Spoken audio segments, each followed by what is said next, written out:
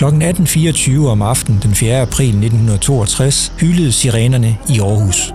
Seks minutter efter sprang en atombombe over Rådhuset. Mens paddehatteskyen rejste sig ildevarsen over byen, ilede det lokale civilforsvar de nødstedte indbyggere til undsætning. Blot fem minutter efter eksplosionen var de første styrker klar. Mens byen stod i brand, ledte det tabre mandskab efter sårede og døde i ruinerne.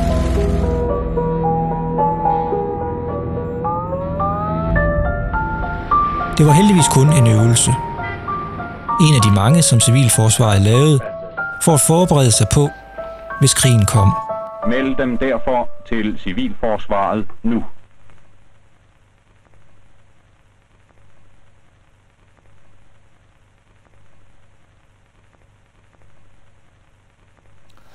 Rosanne Farbøl, du forsker i den kolde krig og har blandt andet kigget på, hvad civilforsvaret gjorde i den sammenhæng. Hvad var det for et angreb, øh, man forberedte sig på i civilforsvaret? Den ultimative trussel, det var jo selvfølgelig et angreb med atomvåben. Og det var måske ikke det, der blev anset for allermest sandsynligt, men man kunne omvendt ikke udelukke det, og derfor var man nødt til at forberede sig på det. Og der har jeg blandt andet i Stadsarkivet i Aarhus fundet et øh, øvelsescenarie fra 1962, hvor at man netop går ud fra, at Aarhus bliver bombet med atomvåben. Og der er, øh, der er scenariet så, at der bliver sprængt en 10 kilotons atombombe over rådhuset. Og øvelsen er fra 62, og på det her tidspunkt, der er en 10 kilotons atombombe faktisk ikke særlig stor. Altså til sammenligning, der var Hiroshima-bomben fra 1945, det var sådan 12-15 kilotons. I 60'erne har man udviklet brintbomber, hvor vi snakker megatons. En relativt lille bombe. Og øh, heldigvis så har man også fået en, øh, et strategisk advarsel 18 timer i forvejen, så man regner med i øvelsen her, at en del aarhusianer de har nået at komme i de beskyttelsesrum, som der er relativt mange af i Aarhus.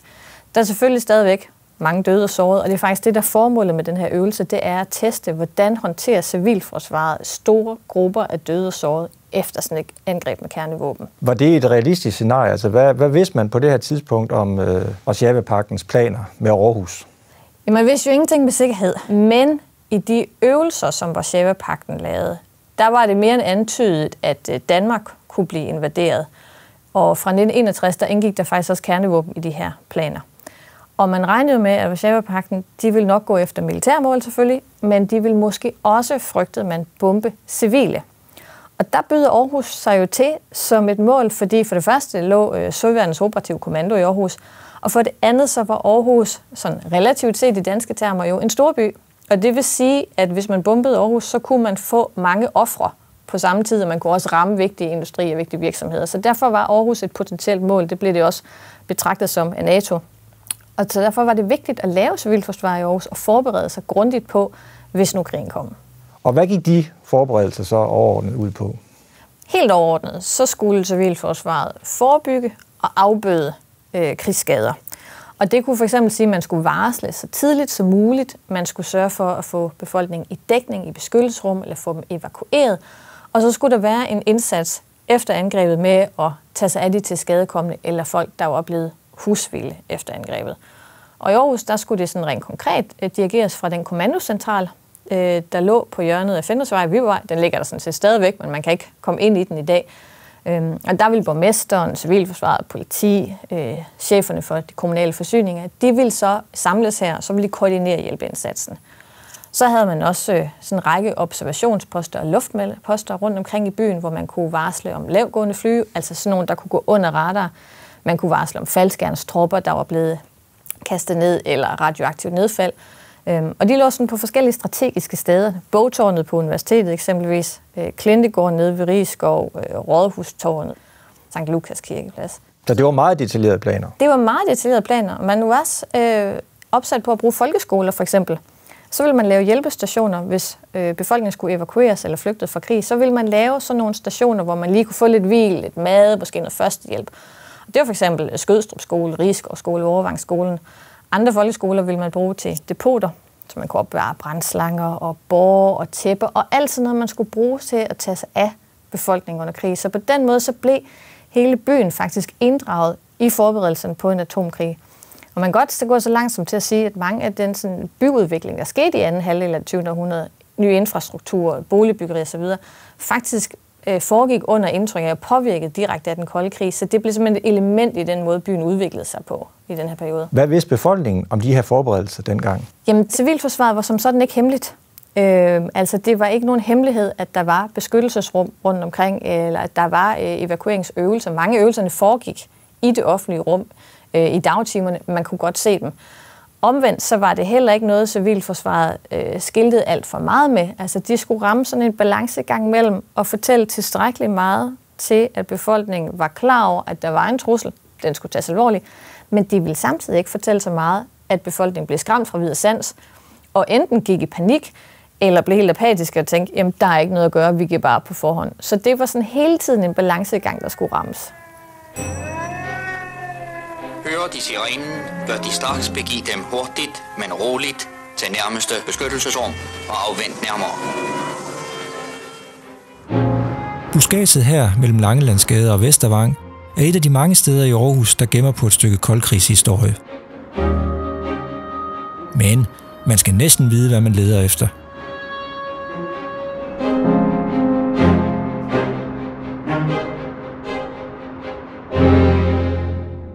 sidder vi jo i noget af det, man forbinder allermest med truslen om krig, nemlig et beskyttelsesrum.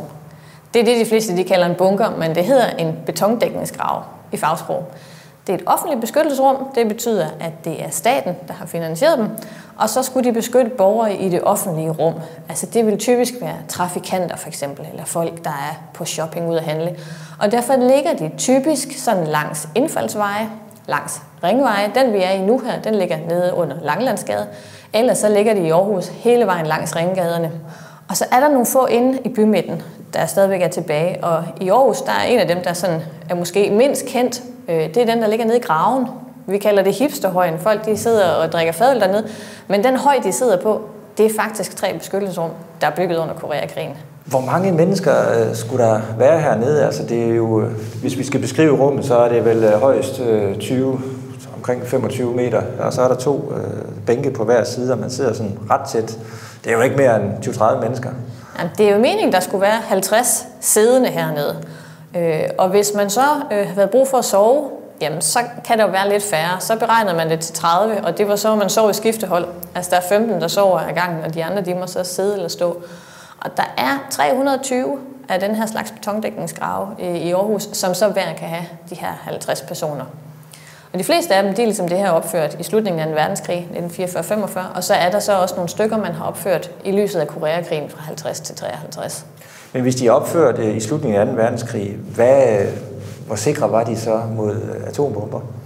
Men altså faktisk i de første år af den kolde krig, så betragtede civilforsvaret ikke atombomber som sådan en radikalt anderledes udfordring i beskyttelsen af civile end de konventionelle våben.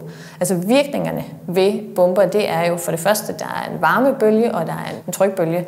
Og det er sådan set det samme med atomvåben og konventionelle våben, med den lille forskel, at det er selvfølgelig markant større ved en atombombe.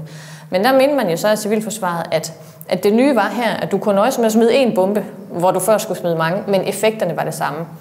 Så var der så yderligere radioaktiv stråling. Den stråling, der kommer lige når bomben eksploderer, den er enormt kraftig, men den er ikke særlig langvarig. Og de her betondækningsgrave, jamen de er sjovt nok lavet af beton, og så er der jo et ordentligt lag jord hele vejen ud. Det er selvfølgelig for at beskytte mod tryk og varme, men man fandt faktisk ud af, at det har også en god effekt mod radioaktivitet. Så på den måde, så mente man faktisk langt hen ad vejen, at de egentlig ville yde en beskyttelse til det folk, der sad hernede, selv hvis det var en atombombe. Når vi så kommer op midt i 60'erne, så finder man ud af, at man er nødt til at modernisere dem, fordi så har man jo opfundet det, der hedder brintbomben, som er noget kraftigere end atombomben. Øh, og det er også her, man bliver opmærksom på, at der kan være radioaktivt nedfald, altså radioaktivt støv, som ligger og stråler i ugevis, måske månedsvis. Og der begynder man så her at udskifte trædørene med ståldøre. Det sker fra omkring 64 og frem efter. Man forbereder også noget ventilation, og der kan være overtryk hernede, så det radioaktive støv ikke kan komme ind. Øh, og så begynder man så også at, at have bænke og alt muligt udstyr udbrydningsværktøj. Det ligger så i depoter, men det kan man så installere. Så der skulle altså være 50 mennesker hernede. De skulle forestille sig at øh, gå på toilet hernede. Øh, der er et, et toilet, eller hvad vil være forberedt et toilet henne i, i enden derhen. Og så, hvor skulle de så sove? Skulle de så ligge på bænken og gulvet? Ja, og, men så måtte man jo ligge i skiftehold, som bedst man kunne. Øh, de her 15 kunne sove, og de 15 andre, de måtte så stå eller sidde. Øh, og så det gode spørgsmål var jo, som civilforsvaret de slogs med øh, gennem hele den kolde krig, det var jo, hvor længe kan man være hernede? Ja, præcis. Og det er jo også et psykologisk spørgsmål. Du sidder hernede, og du ved ikke, om din familie har overlevet, hvis de ikke er fulgt med hernede. Du ved ikke, hvad der er venter dig, hvis du kommer op. Du ved ikke, hvornår du kan komme op. Øh, hvor meget vand og drikke har man lige fået med. Altså, det var, det var en udfordring gennem hele den kolde krig. Men de her betondækningsgrave, de begynder så at fylde lidt meget i bybilledet, og man begynder at tænke øh, op i 60'erne lidt anderledes omkring, hvordan man kan beskytte befolkningen. Hvad er det, der, der sker? Jamen, det er jo en periode, hvor at der sker en hastig udvikling i Danmark fra at være et industrisamfund til et servicesamfund. Folk flytter til byerne, de flytter også i høj grad til forstederne. De får biler. Altså antallet af personbiler, det tidobles i Aarhus mellem 1950 og 1970. Og det betyder jo så, at der skal ske en masse byfornyelse, og der skal ny infrastruktur, og så ligger de simpelthen i vejen, de her betondækningsgrave. Så det man gør, det er, at man får en fix idé, om man ikke kunne bygge nogle beskyttelsesrum underjordisk, som kunne være beskyttelsesrum, hvis der blev behov for det, men som ellers kunne tjene et fredstidsformål. Og der er det oplagte jo at lave parkeringskælder. Øh, så der begynder man at bygge, man kalder dem kombinerede offentlige beskyttelsesrum, fordi de har et kombineret krigs- og fredstidsformål. Og der sker for eksempel meget i Aarhus, at øh, når kommunen laver bysanering, altså de river gamle, dårlige huse ned i bymidten, jamen så bagefter så bygger private bygherrer nogle nye smarte bygninger op, og så får de en kompensation fra Civilforsvarsstyrelsen, hvis de forbereder kælderen til, at man kan lave øh, beskyttelsesrum. Og dem har vi omkring 30 af i Aarhus. Og de er meget, meget større, og vi skal ned og kigge på en af dem nu. Det skal vi nemlig. I løbet af 1960'erne blev der bygget mellem 20 og 30 kombinerede offentlige beskyttelsesrum i Aarhus. Blandt andet her under Harald Jensens plads, under Rutebilstationen, den gamle fødeklinik, bogtårnet, under den gamle by, og så ikke mindst her under Busgaden midt i Aarhus centrum. Det her det er faktisk Aarhus største beskyttelsesrum. Der kunne være 1.500 mennesker øh, hernede, hvis nu bomberne faldt. Og umiddelbart at der er jo ikke meget, der sådan afslører det i dag, hvis man kigger rundt. Men der er alligevel nogle små ting, der giver sig til kende. Der er for eksempel to øh, betonporte på omkring 16 tons. Det behøves man jo egentlig ikke for at lukke en parkeringskælder af. Så er der nødudgange. Øh, på hele den ene side er der en række nødudgange. Og så er der faktisk også her i gulvet, hvor jeg står, der er der sådan nogle øh, skillevægge, der er lagt ind i gulvet, som man kunne rejse op. De passer fint til at kunne lukke rummet ind. Og det gjorde man nemlig, fordi man var nødt til at dele beskyttelsesrum, der var så store som det her, op i mindre enheder. Og det var blandt andet, fordi man var bange for, at hvis nu, at der var en bombe, der ramte i nærheden, at det hele skulle kollapse, og så slå alle 1500 ihjel. Men hvis man delte rummet op, så var det jo ikke alle, der gik til på en gang. Og 1500 mennesker, det er selvfølgelig en del, men kan jo ikke huse mere end en brøkdel af Aarhus befolkning. Hvor, hvor, hvor skal alle de andre være? I de offentlige beskyttelsesrum, både de almindelige betondækningsgrave og de kombinerede offentlige beskyttelsesrum, der havde man sådan en national målsætning om, at der skulle være til 25 procent af befolkningen. Og i Aarhus, der nåede vi op på omkring 20, og det er jo faktisk relativt flot i forhold til mange andre byer. Og det skyldes så blandt andet, at man i Aarhus ikke bare nedlagde de gamle betondækningsgrave, dengang de begyndte at ligge i vejen, men man relokerede dem, så man flyttede dem til andre steder. Og så byggede man rigtig mange af de her kombinerede offentlige beskyttelsesrum. Vi har 30-33 stykker i Aarhus.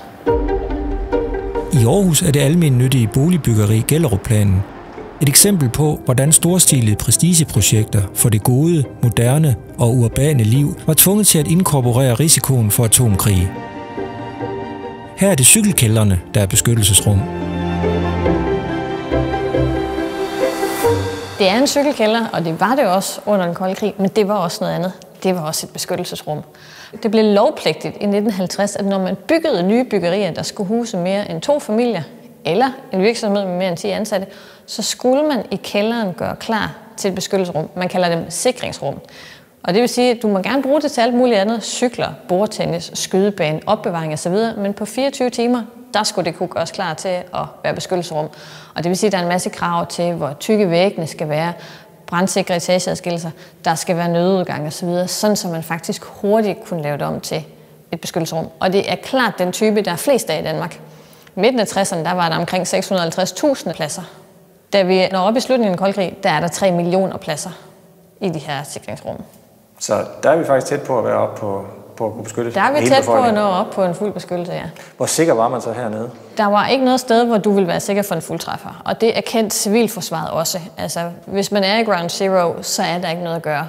Men udenom der, lige hvor bomben rammer, der vil jo altid være områder med mere eller mindre ødelæggelse, hvor det faktisk kunne betale sig at gøre en indsats, og hvor folk havde overlevet. Så hvis ikke Gellerup, som vi er i nu, er bare epicentret, jamen så kunne man måske godt have en chance for at overleve hernede.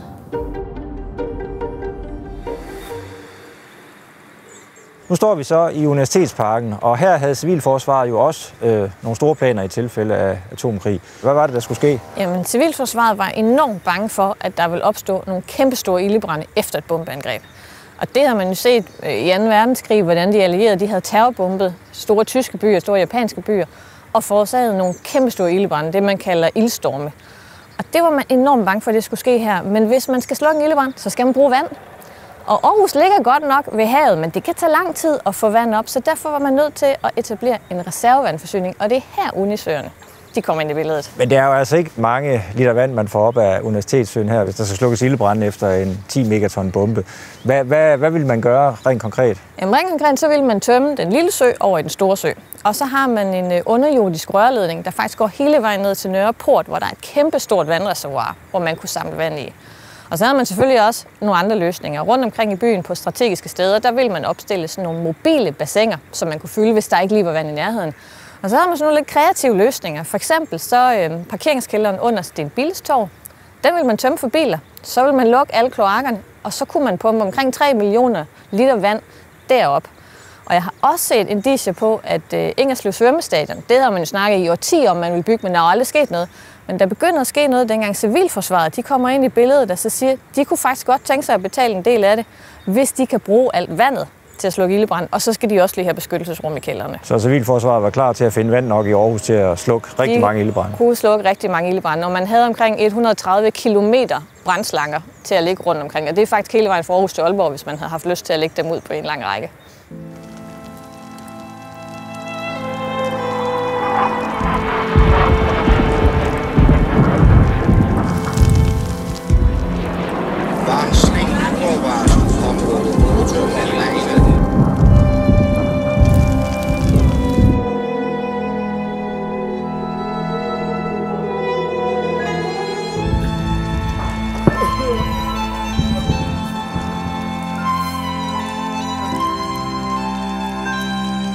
Civilforsvaret forsøgte at forberede sig så realistisk som muligt på et atomart Ragnarok. Til det formål blev der blandt andet bygget ruinbyer, som den her i Skyby. Nu står vi jo så i sådan et udsnit af en dansk provinsby, sådan som man forestillede sig, at den ville se ud, efter den var blevet bombet og lå i ruiner. Civilforsvaret de byggede kunstige ruiner over alt i Danmark. Der ligger omkring 20 af de her ruinbyer. Den allerførste blev bygget i 50'erne, den ligger i Tinglev, men ellers så var det primært fra 60'erne og fremad, hvor de blev bygget over det hele. Og her kunne man så træne de ting, som man kunne få brug for, når nu krigen kom. Det kunne være at slukke ildebrænde, eller redde ofre ud af sammenstøttede bygninger, eller øve sig i at arbejde i små lukkede rum. Der kunne være radioaktiv forurening. Alle de her opgaver, dem kunne man simpelthen træne her. Hvor meget, hvor meget blev det brugt? Jamen, det blev brugt ganske ofte. Der var ret mange øvelser herude, og det du skal forestille dig, altså nu står vi her, det er sommer, fuglene synger, himlen er blå, men når man trænede, så var det typisk, sådan var mørkets frembrud. Der ville være et soundtrack af flyangreb i luften. Der ville være ild i nogle af bygningerne. Der var ofre. Øh, Det var selvfølgelig levende ofre, som lå og skreg, som om, at de var blevet lemlæstet på alle mulige måder. Så det var sådan et inferno, man simpelthen trænede i. Så det var sådan en kropslig og sanselig oplevelse, hvor de her civilforsvarsrekrutter, de kunne øve sig i, hvad de nu skulle kunne gøre i den situation, at det blev alvor. Et organiseret civilforsvar har reddet tusinder af menneskeliv og store værdier. Standardruinen, den er i alle ruinbyer, og det er den perfekte ruin. Og det er det flere årsager. Altså for det første, så ser den autentisk ud. Det er sådan en klassisk dansk provinsbyggeri. Det kunne ligge alle steder. Men den ser jo også autentisk ud, fordi det ligner en bygning, der er blevet bombet og i ruiner. Den er bygget sådan her. Den er ikke først bygget rigtigt, og så har man revet den ned. Den er simpelthen bygget, hvor man har regnet ud, hvordan ville det se ud, hvis den var bombet. Og hvad for en type øvelser kunne man bruge den til? Jamen det kunne eksempelvis være, at der var ofre oppe på første salen, som skulle fires ned på borger. Det kunne også være, at de var spærret inde i kælderen og skulle graves fri. Man kunne træne murgennembrydninger, hvis der var ofre, der var spærret inde i et rum, man ikke kunne komme ind til dem. Hvordan skulle man så bryde muren ned, alt efter hvilken type mur det var? Man kunne træne, at man skulle lære at navigere i rum, der var mørke, kaotiske, fyldte af røg osv.